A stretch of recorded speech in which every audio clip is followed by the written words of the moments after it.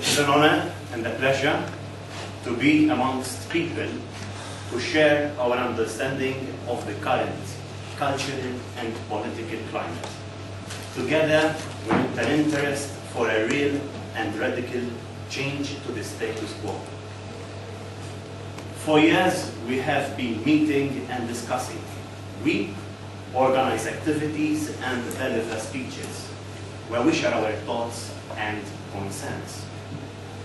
However, I believe that despite this, we have never really strived to seek what unites us. We haven't really done our best to pursue and highlight our common denominators. And it is precisely on this that we should concentrate.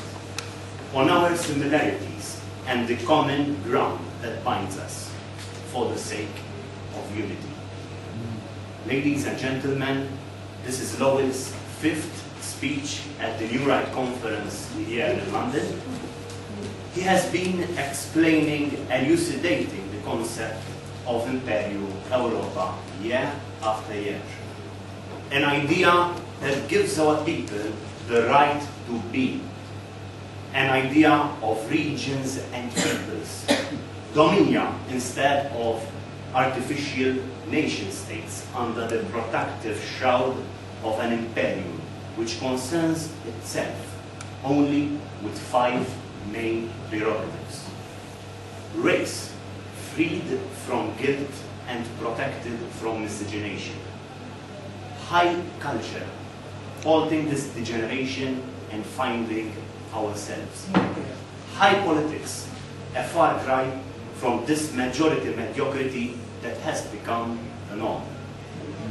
Territory, never to be ceded or abused.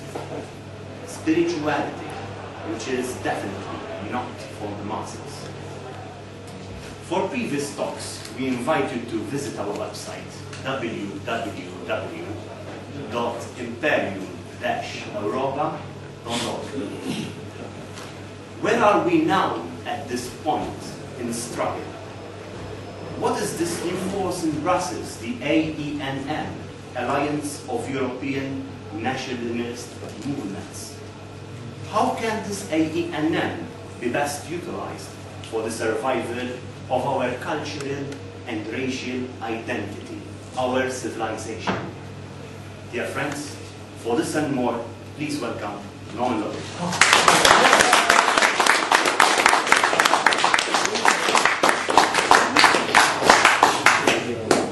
First of all,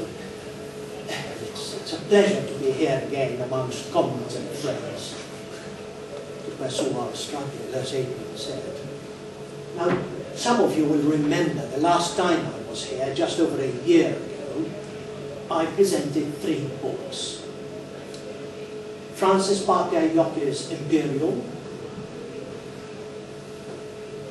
uh, my book, Imperium Europa, that followed it, years later, the Imperium Manifesto, with, which tackled the nitty-gritty of the concept of Imperium Europa, and today I'm privileged to present the fourth book in this growing awareness for this concept of Imperium Europa.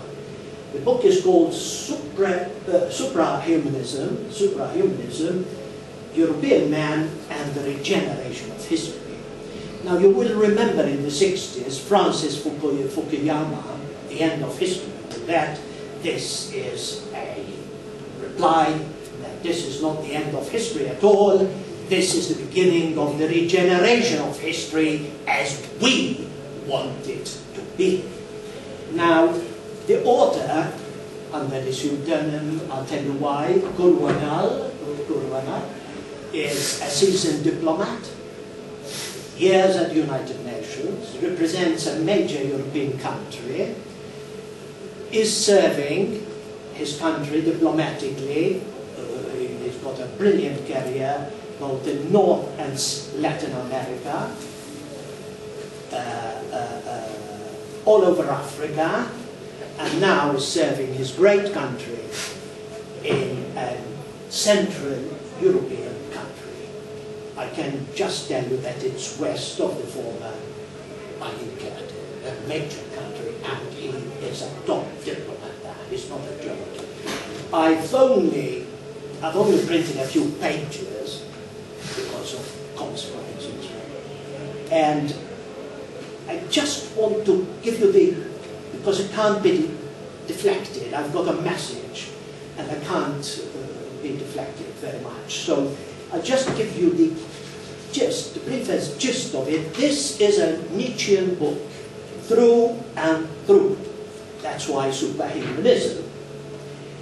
And the purpose of this book, really, is to define a series of concepts of ide or ideas and describe them in a precise and sharp, coherent way. Forge a sort of intellectual sword that may help us cutting through in the battle, in the battle for spiritual dominance and advance of self-awareness. Everything depends, as I shall be talking later, on the outcome of this battle for spiritual dominance. Now, just a sentence or two. The Roman civilization being forever the ideal on which the rebirth of Europe must be modeled. The idea of a European imperium or Reich must be revived. It is not important how the idea should manifest itself in the future and what statutory or legal forms it may assume. What counts is not the form but the content of a new imperial idea, which excludes rabid nationalism and offers all European peoples a chance to nurture their uniqueness and yet also discharge their common duties. The synthesis of a spiritual Europe for the sake of the production or the enhancement of a higher breed of man, this is what lies at the basis of our passion for European unification under Imperium Europa. So this is the book. I've been privileged to be asked to place a short forward to it, which I will do when I return to Malta. It's being edited by our Etoile, who's a professional editor. You remember Etoile, she came to speak here once. And uh, I, uh, when, when this book is published within a month or so, we will certainly promote it on our website, Viva. Unfortunately, I can't elaborate anymore because I have something, I have a message to give. Now, excuse me. It's my nervousness.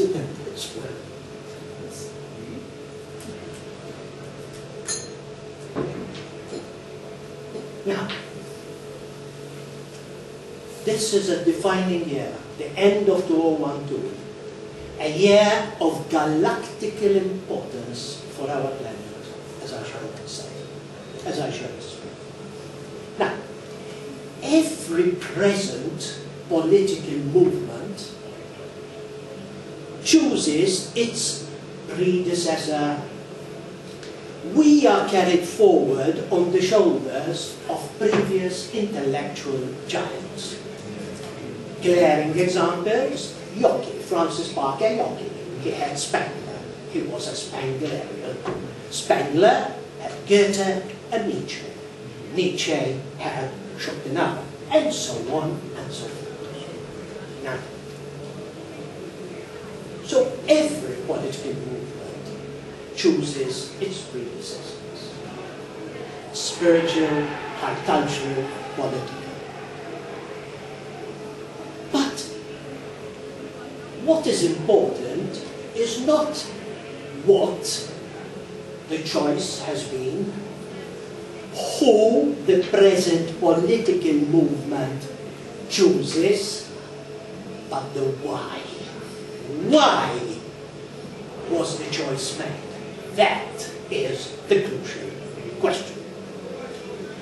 Now we of Imperium Europa, we do have our predecessors. After careful choice. And we have chosen, on one side, Friedrich Nietzsche and Francis Parker Two pillars on which the whole concept of Imperium Europa stands. Friedrich Nietzsche, let's face it, the last great European, truly European thinker. Didn't agree to what we call better nationalism. He wasn't. He even attacked Germans unfairly, to say the truth. Nietzsche, pure, distilled, a blinding light. His Zarathustra, an affirmation of the great yes, yes to suffering, yes to pain, yes to tribulations, yes, if death is life, then let's have it again. A great affirmation, a great optimism. We need Nietzsche. We need his hope. His great affirmation. Now, Friedrich Nietzsche interpreted nature's laws as they are. As they are.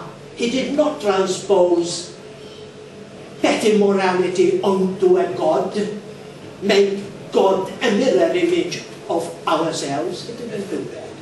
Nietzsche understood exactly what nature's laws are inexorable laws, immutable laws that can never change, laws that are beyond good and evil. Nietzsche.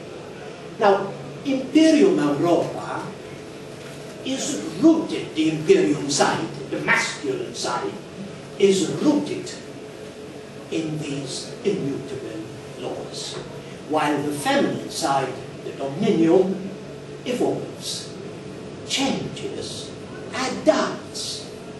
But the imperial laws, the masculine side, with those prerogatives, my previous, my friend, uh, uh, number, they can never change. They are eternal laws. Why? Because the cosmos is what it is. On the other side, we have Yockey the political philosopher, the political activist par excellence. He gave his life for his political passion. His great yes to imperium, 1946, unimaginable. What a man, what a star. In 1946, with Julian, desolate, lying prostitute under the heels of Bolshevism and finance capitalism, to come out with this idea of a great man. Now, we have to admit that it was the two fascisms, Germany and Italy, that applied Nietzschean philosophy to politics. Nobody else. They tried, they did, they started. It was after all a start, a few years, but they tried to adopt Nietzschean philosophy to politics. In 1946, Yockey implemented Nietzsche's philosophy to post-war politics. Now, in 2012, we of Imperium Europa are implementing, putting into practice the thoughts of both these our predecessors. Armed with the hindsight insight and foresight, we sailed this troubled, the troubled political world, this shabby modernity, this terminally ill culture of ours, corroded, corrupted by those whom Yockey described as the culture distorters. Nietzsche asks, what is the most beautiful thing in life? To live dangerously. A hunger for the forever, out of reach, our ideals, an aristocratic in the sense of spirit and character, an aristocratic radical revolution that is about to shake the world. We are the true free spirits, the true libertarians, not liberals, focused, disciplined, inured to hardship, ingrained against luxury and miserableness. We do not need to ingratiate ourselves with anybody. We do not need to fear upsetting anybody. We are the radical racialist right, revolutionary reactionaries. We must simply be ourselves. We were the heirs of both our predecessors, Friedrich Nietzsche and Francis Parker Yockey. Now,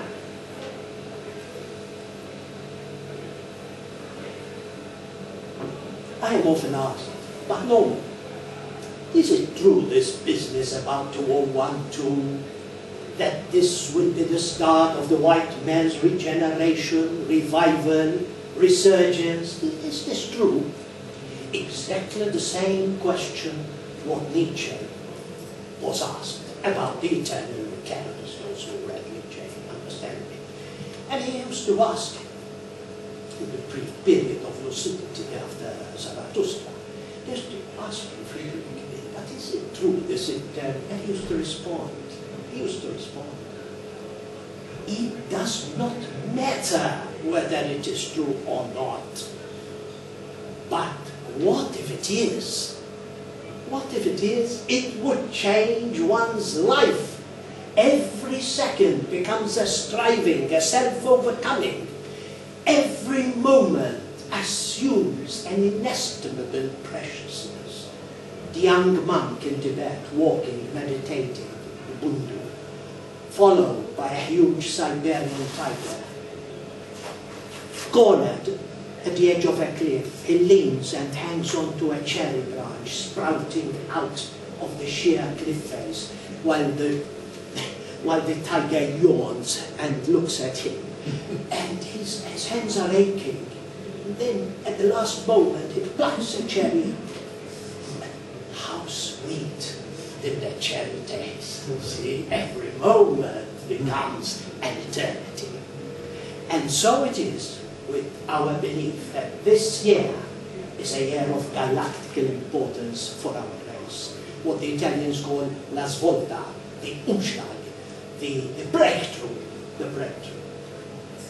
Our belief that this small cycle about to end will give way to much larger cycle. Kali Yuga to Krita Yuga cosmic cycles, inner circles, introducing ever larger under ones. This belief of ours, of Imperium Europa, will change our perception of the struggle, We'll change our pessimism into optimism, defeatism into a messianic certainty of our final victory.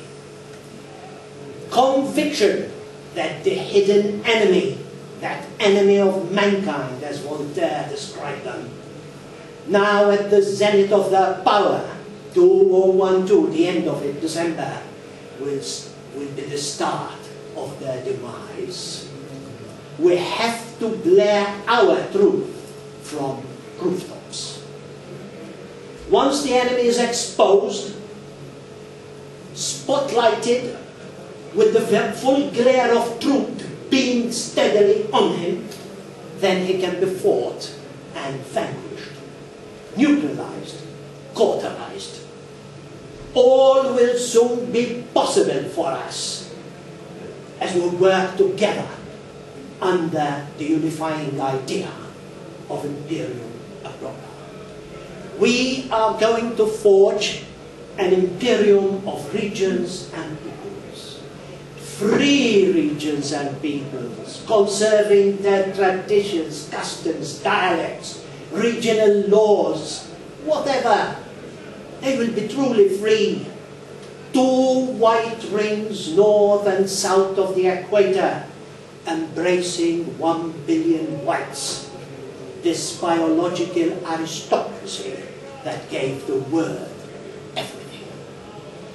We will clean up our heartlands and repopulate them with our best sons and daughters.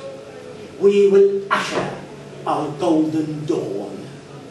All else, all the present problems in the dominion sphere will pale into insignificance. We in Malta, towards the end of this year, 2012, we are going to launch Imperium Europa. Twelve men from the, all over the white world, the best, will congregate on our island. On a specific day, at a specific hour, at a sacred space, a sacred spot, pre-Christian, some 6,000 to 12,000 years old. Unknown to the authorities, but discovered by our archaeological friends. We will meet there and launch the Imperium. Now in Malta we have two types of temples. Lunar, feminine, the cult of the Great Mother, Yin. And the previous solar veneration. And it is here in this last temples, one of them, it is in a solar temple that we shall meet and launch the. This sacred Aryan territory, Melita, the last remaining tip of the former Atlantis, a huge island, three times the size of Sicily, stretching from the Malta, which was the highest point, right down, for those of you who know, of course, the Sahara Desert, right to Timbuktu, was a vast ocean.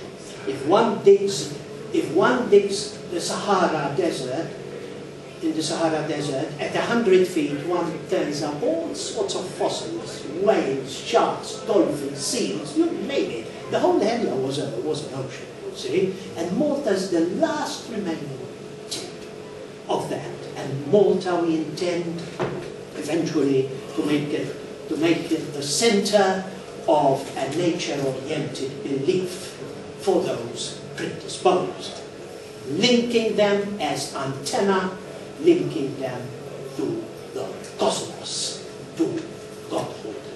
Now, Narita, the tip, the spiritual focal point, the unmovable center, the pinnacle nella massima tranquillità, nell'occhio del ciclone, in the utmost serenity and tranquility, in the eye of the cyclone. There, the unmovable point in the middle of the cosmic swirling swastika. Now, the Maltese cross, the eight-pointed cross, is actually two swastikas joined together. One destroverse, one sinistroverse, joined together as the great Serrano would say, what the cosmic synchronicity auguring success to the launching and implementation of Imperium Europa. But like everything great, the Imperium will be born in silence and darkness. A spiritual event of momentous importance will affect everything a spiritual transfiguration. A mystical rite is about to happen. Now, our nationalist friends, wherever they are, may not understand us. Digging their little furrow in their respective countries, fighting elections, what we do, after all, in Malta. Uh, contesting elections, local elections, and know that. But we will give a cosmic vision to the fight. This fight that started eons ago, millions of light years away in the past, millions upon millions of miles of, of, of, of lightning speed away. This start is an age-old fight between two gods and is being carried on on this tiny speck, our Earth, our Gaia. It is a fight, I said, between two gods. A noble God against that incarnated satanic spirit, the creation of the Demiurge. It's an ongoing fight. Now, to get back to politics. Many nationalists, genuine nationalists, want to get out of the EU. I was at the Alliance of European Conference last month. Month in Milan, there were 200 delegates from all over Europe. And I was glad that there was such enthusiasm, such a love for our Europe, for our race, and everything great, very vibrating. But on the other side, when you see some speakers who are representative of the AENM on the governing body, and they want to get out of Europe, collecting signatures to get out of you. But are we politically mad? Can't you see the irony of it all, the incoherence, the contradiction? Get out of Europe now when it's about to collapse in our hands, right? We will take over Europe very soon, not get out of it. They've done all the donkey work for us. Now, let them be. They've done the donkey work. Now we'll give it them spirituality, high culture, our high culture, and then new direction. And we'll take over, that's it. Not get out of it. Not out. Now, this AENM movement, the chairman is Gollnisch, a very respected historian. I think he was uh, accused of Holocaust nice man. Humble. Uh, now this AENM is soon to become a misnomer, the Alliance of National Movements. In 2014, the coming MEP elections for Europe, the regions will outnumber the nation states. The regional representatives will vastly outnumber the, the, the, the Christian hypocrites and the squalid socialists. I know regions, I've met so many regional leaders, so many of them, and they're fielding five, six candidates every region. Now there are 300 regions in Europe, from Ireland to Lithuania. So it's ours, as I had predicted in one of my previous talks, those who remember it or saw it on me, I used to say the regions will vote for us, not for the national government, you see, but for the regional government.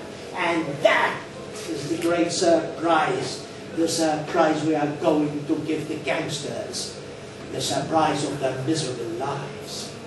So AENM is a misnomer because there won't be more regions than nations. So I am in Brussels as we are confident this time that we will be in Malta because there's growing awareness by people, they've lost complete faith in, in our politicians like everywhere else. So I will probably be in Brussels in 2014 and I will urge the AENM to change its name to Nova.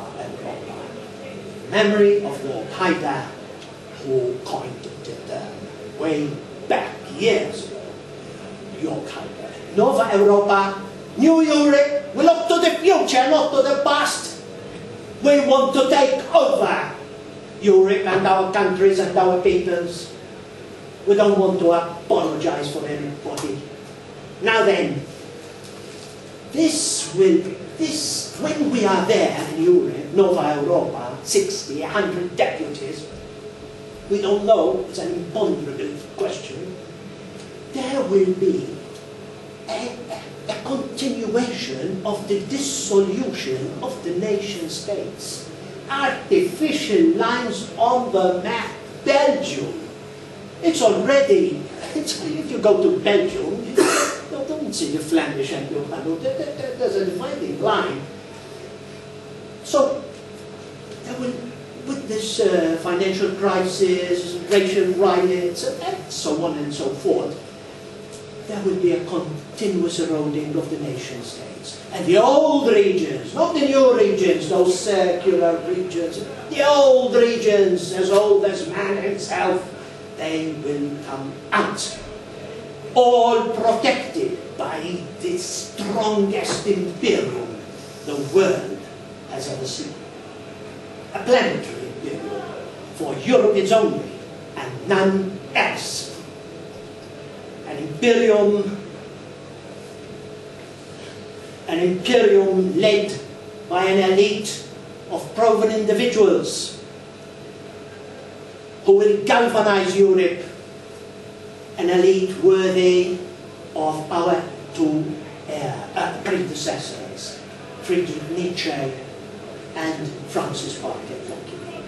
We will save our peoples we will hold high the banner for the white race, Imperium Europa. Amen.